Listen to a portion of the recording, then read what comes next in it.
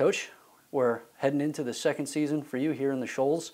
Tell me a little bit about what you learned in the first season and what you're hoping to improve on this year. You know, I, th- I thought we have a very resilient football team. You're, you're looking at a, a, team that a year before had zero FCS wins. only win was a, a very close D2 win um, that, that had, had kind of been a little down and out, beaten up and, and come into last year and, and have seven out of 11 games you had a lead in at some point, most of them going into halftime. Um, we knew that we needed more depth. That's a, a, lot of the reason why you can't hold on to a lead is because you need to increase your depth a little bit. Um, but we have a group that never quit, that never uh, stopped fighting, even all the way down to playing Florida State on national television in front of 1.3 million people, uh, where no one in the world gave us a chance. And you come out and take a 13 nothing lead. It's 24 to 13 and a half.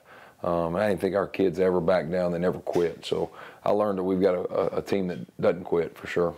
When you think back to that Florida State game, as you said, you had so many eyes on you guys. You guys went up 13 nothing. What do you think that did for the confidence of the team, even though it wasn't the end result you were hoping for? You know, it really catapulted our off-season workouts, um, where, where you got guys like Edwin White Schultz or um, you, you, got Gage Saint, our, our leader up front, that can come and address the team afterwards and say, listen, guys, you saw tonight for a quarter what this team could have been. You saw tonight for a half what this team could have been. And we don't want to look at each other next year um, and say what could have been. We want to perform like this. We want to play like this at all times. It, it sent a message to our coaching staff that I think that game we, we had more trick plays than we ever had before uh, it really sent a message to us that that um, it, it really fuels our guys to do little things like that a little bit more often. So um, we, we may pull out the bag of tricks a little bit more than, than we had been, but um, I think for our guys, it really catapulted us into a great off-season workouts. So looking at where things are this season, you recently named Ari Patu your starting quarterback. What was it about him that distinguished himself? And I know he's somebody that you had some previous experience with. You know, Ari uh, uh, gives the look for sure. He's he's a six four and a half um, QB, the, the, the culture, his background he comes from, there, there's never too high, there's never too low, and that's a, a great quality to have as a quarterback. You know, look at uh, the Tagovailoas, um, they're in the same mold. Um, so I think our team feeds off of that, where they know that when if he throws a touchdown pass, he's going to really act the same way if, if he made a bad decision. Um, and it keep, really helps us stay grounded. You know, he can run really well, um, so it, it, adds the QB run element to our game. Um, but but he really has all the tools. I mean, he had all the tools that uh, I think he was the youngest starting quarterback in the history of Stanford football. Um, got got early starts there. Played against Notre Dame. I mean, he's he's played in some big time football games, which is going to help him early on in this process for us. When you look at some of the guys he'll be throwing to, obviously you got TK back, someone who has as much experience as him, basically like having a coach on the field. What does he bring to the Lions? You know, TK, uh, there's so much experience there. There's not a coverage that he hadn't seen. Um, he, he's a consistent guy where if you got a QB sometimes that, that's looking for a completion, looking for an answer, um, you can always look to number five side. Um, but what, what's been really good for TK is we've increased the depth in that room where you, you were already pretty solid last year with the likes of Dakota Warfield and Kobe Ward and J.J. Evans. Um, but you add on to that room with Tanaka Scott, another six-five receiver moved in from Kansas. Uh, Logan Collier was an NAI All-American at Lindsey Wilson. That's really the speed guy. Um, that that TK's been even better because he's had guys nipping at his heels in that room. So and he knows it. Uh, he knows it's made him so he can't get comfortable every day. Obviously, everybody saw what Edwin White Schultz did last year, preseason Defensive Player of the Year. What does that do for his confidence and for the team?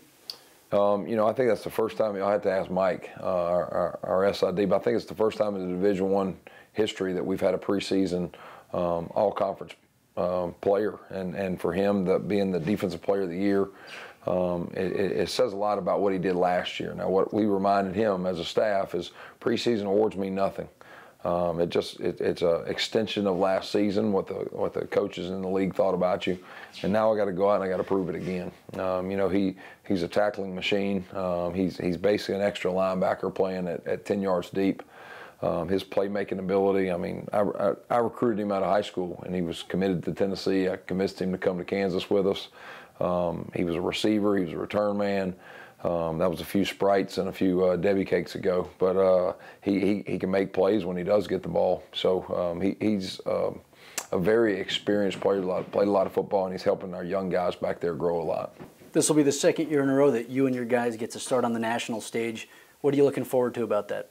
Uh, it's, it's awesome for our guys. It's awesome for UNA athletics. It's amazing for our university. For for uh, the third time in a year span, the the UNA Lion logo is on going to be on national television. You know, playing in this game last year, uh, played a, a team that ended up being a playoff team.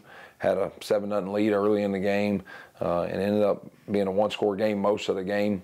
Um, I think it opened a lot of people's eyes to what we could be, and we were uh, going to be a contender.